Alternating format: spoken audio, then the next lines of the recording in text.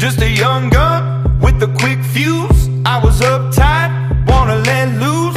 I was dreaming of bigger things and wanna leave my old life behind. Not a yes sir, not a follower. Fit the box, fit the mold, have a seat in the foyer.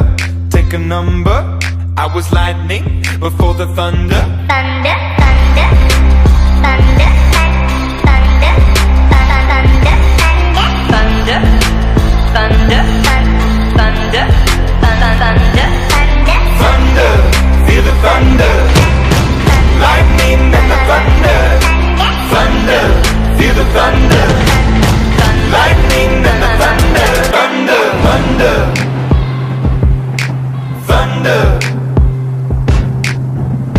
were laughing in my classes while I was scheming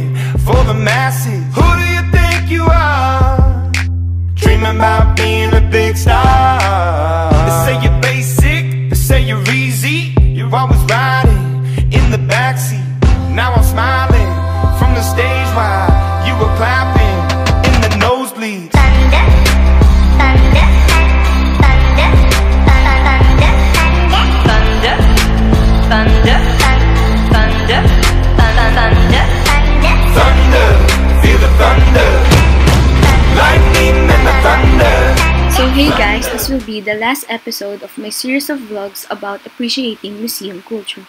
So let's have a recap. For the first two episodes, I visited the National Museum of Natural History, which has a neoclassical style of architecture, and they have the Tree of Life and Lolong Skeleton as their top attractions. My second episode was about the Pinto Art Museum, which is a Santorini-inspired museum with most of their visitors are young adults.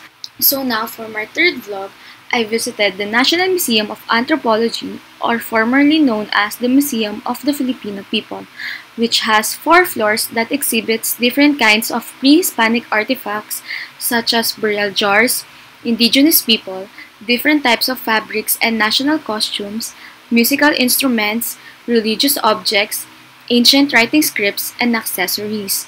The place was quiet even though they have a lot of visitors who are by groups of young workers or parents with their children.